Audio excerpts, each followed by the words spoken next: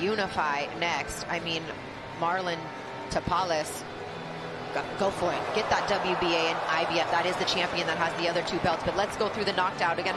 Here, the left hand. You called it earlier, Michaela, how devastating he, he is with that left hand. That put Fulton on the canvas for the first time and then eventually stopped him.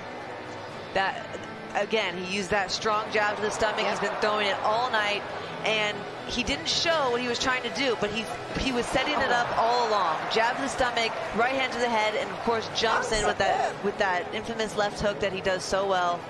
But it was that we talked about the stab jab down to the gut the whole time, came over with the right hand. Time and time again, he had landed not that viciously, and then the finishing shot was the left. Yeah, you could see he just smelt blood. He, he knew that uh, Fulton was ready to go and leaps in with a huge left hook, takes him to the corner here. Huge flurry of punches, catches him on, catches him on the chin with that left hook to finish it. Would it have been any other way?